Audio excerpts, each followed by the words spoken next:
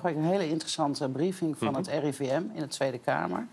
Ehm, het RIVM eh, zegt in die technische briefing dat zij geen zicht hebben op de bron van de stikstof. Zij hebben geen zicht op van welke boerderij het komt. Zij hebben geen zicht op de effecten. Dat kunnen zij berekenen in een model. Dus het gaat een meting, dat gaat in een model, dus niet andersom.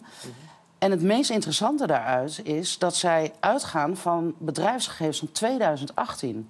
En sindsdien zijn er eh 8 miljoen kippen minder, 1,5 miljoen varkens minder, 200.000 runderen minder en 20.000 schapen minder. Ik heb het dus nog specifiek voor een tweede keer Ja. gevraagd.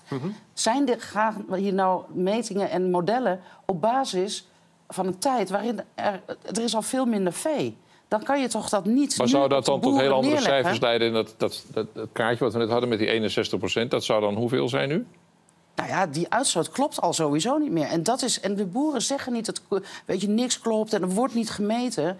Maar er wordt op zo'n rare manier gekeken. Als jij cijfers gebruikt van vier jaar geleden... terwijl er al zoveel minder dieren zijn... en je gaat nu dit rigoureuze beleid over Nederland heen storten... want niet alleen de boeren hebben last van, iedereen gaat hier last van krijgen...